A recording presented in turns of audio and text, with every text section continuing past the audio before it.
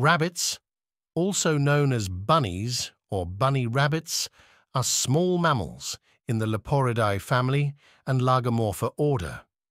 They are found in various species, including the European rabbit, domestic rabbits, and wild rabbit species. Introduced on every continent except Antarctica, rabbits are a part of daily life as food, clothing, companions, and sources of artistic inspiration.